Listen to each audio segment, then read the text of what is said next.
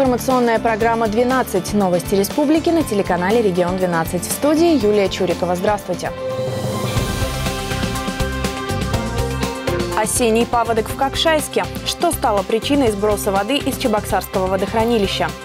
Новогодняя елка с продолжением. В ботаническом саду к новогодним праздникам вновь предложат ешкаролинцам альтернативу срубленным деревьям. Елки в контейнерах. Погоня с преследованием. Несколько часов сотрудники полиции шли по следам подозреваемого мужчины, нанесшего ножевые ранения трем женщинам. Ешкарала глазами фотографа. Около тысячи фотографий с живописными видами столицы республики на страницах нового фотоальбома «Царев город».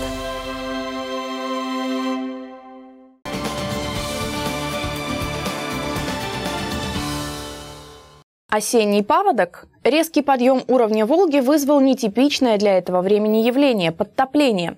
В числе первых в Мариэл от него пострадали жители Кокшайска, расположенного в непосредственной близости от Чебоксарской ГЭС и ниже ее по течению. За разъяснениями встревоженные люди обратились в редакцию телеканала «Регион-12».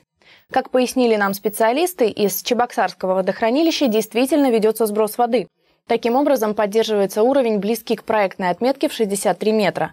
Причина в обильных дождях, переполнивших все расположенные в верховьях Волги водохранилища, в частности Горьковское и Рыбинское, где также сейчас сбрасывают воду. Но это будет продолжаться где-то буквально 2-3 дня рост. С Чебоксарского водохранилища идет пока стабильный сброс в пределах 8860-9400 кубов секунду они сбрасывают. А в Верхнем Гефе у них уровень максимальный 63,3. Это согласно режиму работы, который устанавливает межведомственная оперативная группа по регулированию режимов работы водохранилищ Волжско-Камского каскада. Средний уровень у нас составляет 53, 53,5, 52 и 8 где-то вот так вот, а сегодня, на сегодняшний день 54 и 7 по Балтийской системе координат. Но это еще не критические, поэтому до критического уровня у нас 56,5, когда начинают подтапливать первые постройки.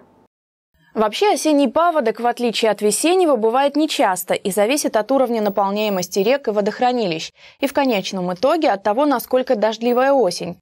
Напомню, что минувшей весной паводок в Кокшайске превышал критическую для населенного пункта отметку примерно на 60 сантиметров. Остается лишь отметить, что официальные данные не оценивают реальную ситуацию в садоводческих товариществах, расположенных в черте Кокшайска. Там, в силу особенностей расположения участков, паводок всегда более ощутим, что и можно увидеть на фотографиях, поступивших в редакцию.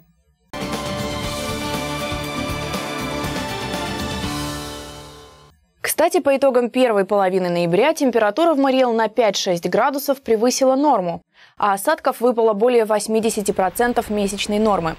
Общий характер погоды явно не соответствует календарю, говорят синоптики. Впрочем, предзимние перемены уже не за горами. Как показывают прогнозы, на этой неделе погода все же станет более похожей на зимнюю. Среднесуточная температура перейдет через ноль к отрицательным значениям. И начнется климатическая зима, которая обычно приходит 10 ноября, но в этом году немного задерживается. То же время начало зимы получится однобоким, поскольку снега пока нет и не предвидится.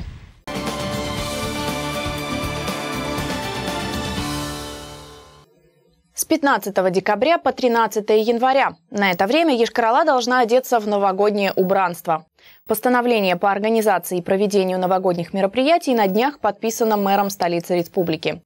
В частности, до 13 декабря всем предприятиям, учреждениям и организациям предлагается согласовать с главным художником города эскизы и проекты праздничного оформления фасадов зданий, улиц, скверов, бульваров и площадей. Выполнить их художественно-декоративное оформление и художественную подсветку. Главным местом проведения зимних праздников в Ешкарале станет площадь Ленина. А за неделю до праздника, как обычно, откроются базары по продаже живых елок и лапника.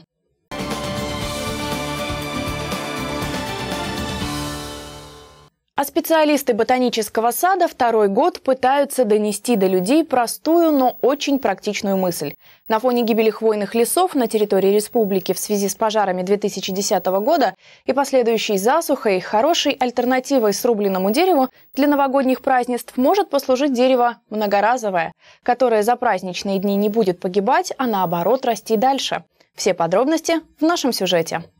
Европейская ель, колючая, пихта сибирская и даже неприхотливое североамериканское дерево. В ботаническом саду Ишкаралы к Новому году готовы. 50 хвойных деревьев в контейнерах в декабре уже можно будет приобрести. Стоит сказать, что объем на этот раз невелик. По сравнению с прошлым годом он снизился в 4 раза. Первый опыт оказался не совсем удачным. Деревца гибли из-за неправильного ухода. Но снижение объема не отразилось на стоимости.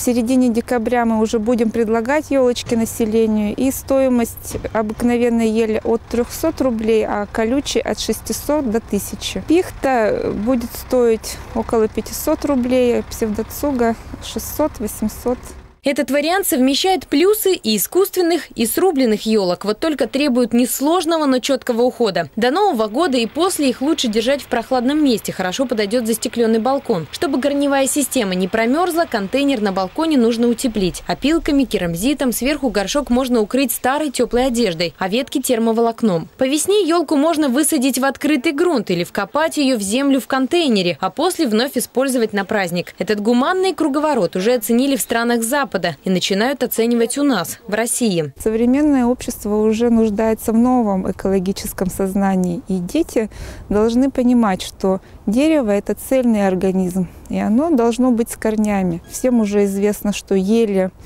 начинают погибать повсеместно, имеются выпады во многих лесхозах, существует эта проблема.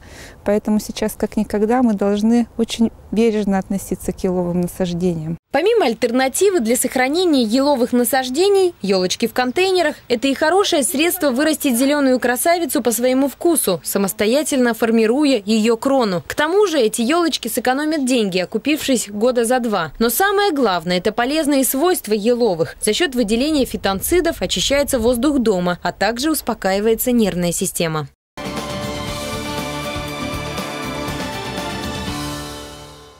Сюжет как из криминального боевика. На днях в окрестностях Суслонгера сотрудники полиции в течение нескольких часов преследовали подозреваемого. По данным МВД Республики, вечером 15 ноября в Суслонгере 24-летний мужчина нанес ножевые ранения своей бывшей жене и ее двум подругам, после чего скрылся с места преступления. Предполагалось, что подозреваемый вооружен, поэтому на его розыск были ориентированы и сотрудники полиции соседних регионов. Выйти на след злоумышленника помогла продавец одного из местных магазинов. Нетрезвый молодой человек, похожий на объявленного в розыск, обронил там сотовый телефон. Когда я была на складе, дверь открылась, слышно было. И звук, что что-то уронили. Я пришла, его уже не было, а телефон здесь лежал. И потом... Ну, я его подняла и подумала, что просто выронили. Найденный телефон женщина отдала сотрудникам полиции. На этом этапе к поискам подключилась кинологическая служба. Собака быстро взяла след, который вел к ближайшему лесу. Служебно-розыскная собака взяла след, э, довела до лесомассива, где были видны следы человека. Э, в дальнейшем сотрудник уголовного розыска и кинолог продолжили преследование преступника. Э, здесь нужно принимать во внимание, что с момента обнаружения э, данного магазина, данных свидетелей и момента захода предполагаемого подозреваемого прошло полтора часа. Для преступника достаточно большая фора, поэтому сотрудникам криминальной полиции пришлось э, нагонять этого преступника бегом в ходе преследования по лесистой местности им пришлось преодолеть э, более 10 километров. След вывел полицейских на Казанский тракт, где почти удалось настигнуть преступника. Они успели заметить, что мужчина садится в попутную машину. Поймав следующую попутку, оперативники продолжили погоню. Вскоре автомобиль, в котором находился подозреваемый, удалось остановить. Мужчина, выйдя из машины, не оказал сопротивления, признался в содеянном и рассказал, что выбросил нож еще в Суслонгере. В данный момент подозреваемый, который уже был ранее судим, задержан. Возбуждено уголовное дело по факту нанесения тяжких телесных повреждений. В полиции сообщают, что жизнь пострадавших женщин находится вне опасности.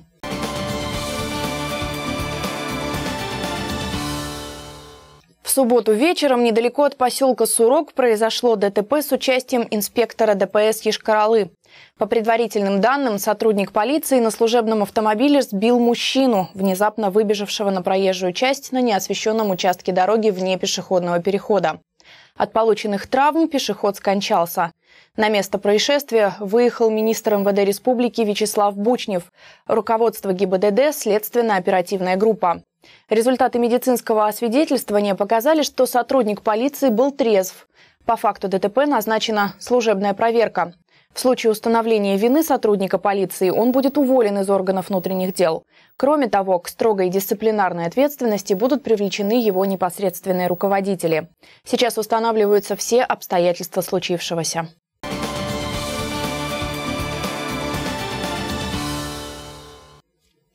Хоккеисты Волжской Ариады Акпарс в последнем матче домашней серии переиграли Тюменский Рубин. При этом наши ребята мало того, что подпортили статистику тюменского вратаря, так прервали десятиматчевую выигрышную серию действующего вице-чемпиона высшей хоккейной лиги. Раз кардинальных мер не избежать, то будут вам кардинальные меры. Примерно таков был лейтмотив последнего послематчевого комментария главного тренера Ариады. И меры не заставили себя ждать. В матче с Рубином состав нашей команды претерпел изменения. Любители хоккея не увидели старожила команды прошлогоднего капитана Айдара Шигапова. Не было в заявке еще пару фамилий наших игроков.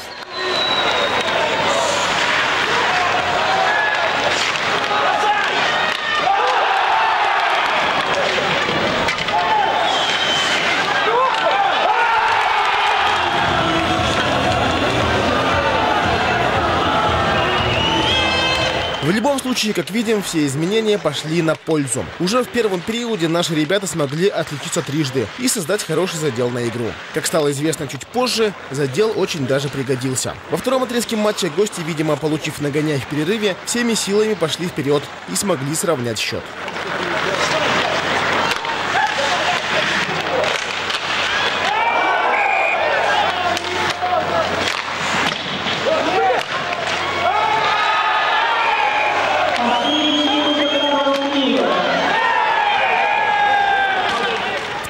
Периоде и те, и другие играли предельно осторожно, ведь любая ошибка могла стать роковой. При равенстве в счете 3-3 команды доиграли до финальной сирены. В овертайме сильнейший не был выявлен. Настало время буллитов, в которых обычно Ариаде не везет. Но не в этот раз. Соперник не смог переиграть нашего голкипера ни разу. А волжанам хватило одного точного броска.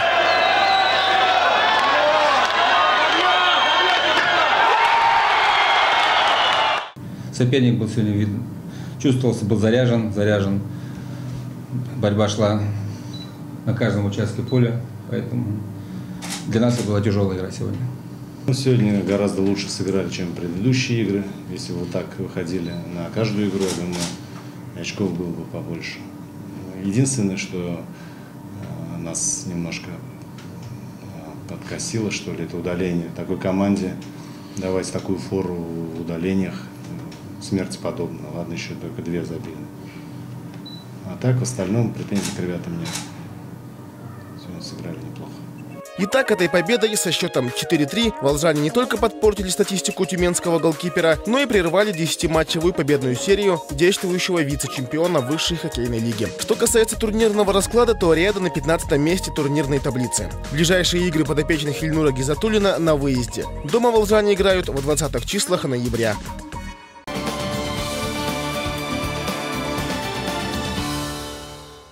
История для приключенческого романа. Оказывается, целая группа жителей Марийского края в середине века волею судеб оказалась на Украине. Расследованием обстоятельств заинтересовалась уроженка Винницкой области, а теперь и наша землячка, заведующая филиалом Ешкаролинского музея имени Палантая Наталья Ильина. Историческая подоплека событий, забросивших группу марийцев в Украину, связана с противостоянием Московского царства и Казанского ханства. Практически весь XVI век прошел под знаком беспрестанных попыток Москвы подчинить важный с точки зрения стратегии регион. Марийцы, населявшие горную сторону, волей или неволей оказались в эпицентре исторических событий. Их ссылка на литовскую границу могла быть связана с выступлением на стороне Казанского хана. Сохранилось и свидетельство высокопоставленного очевидца. Почему мы нашли это подтверждение, как они туда попали?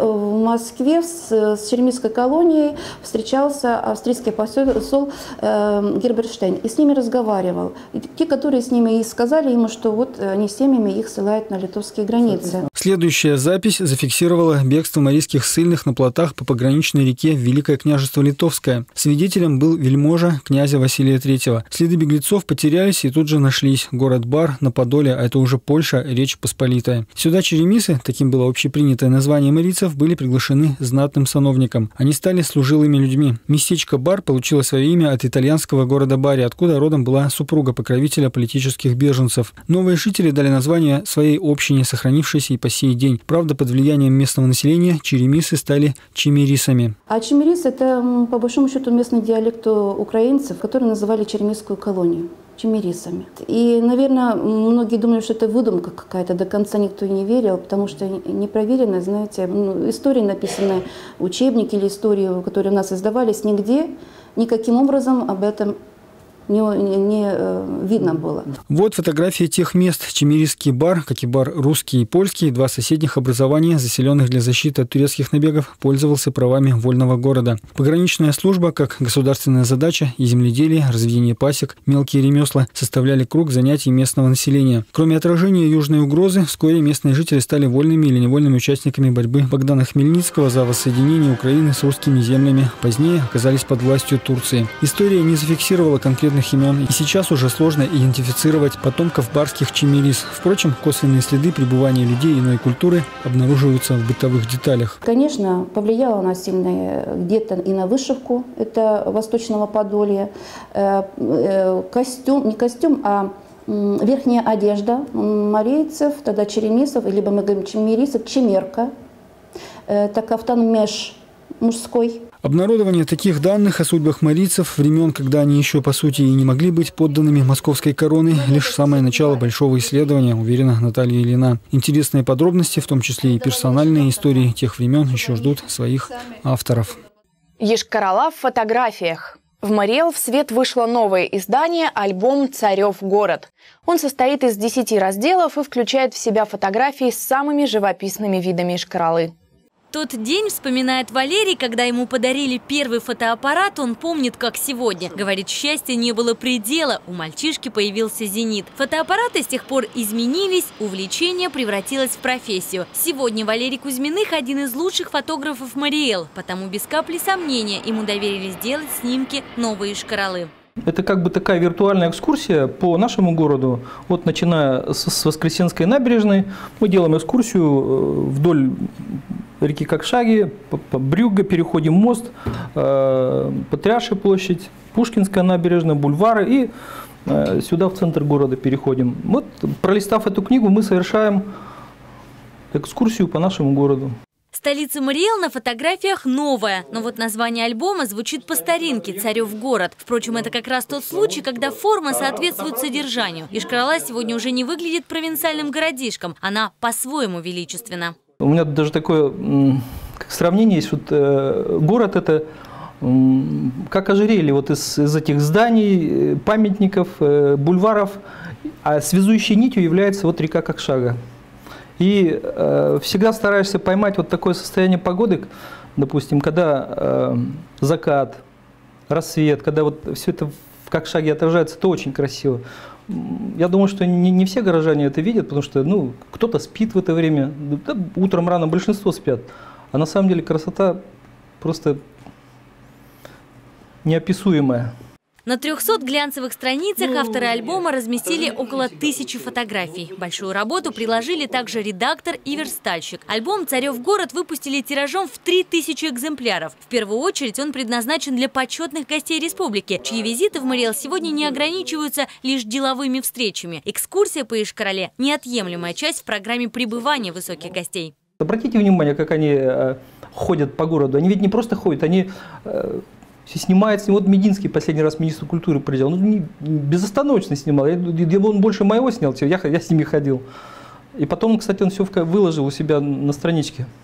То есть э, людям очень нравится вот, город, и поэтому они вот стараются его запечатлеть. И, вот и хорошо, что мы теперь имеем возможность им подарить такой альбом. Ишкаролинцам повезло, говорит Валерий. Свой город они могут увидеть воочию во все времена года, и поздним вечером, и ранним утром, когда город еще спит, и в тишине лишь щелкает затвор фотоаппарата. Стоп, снято.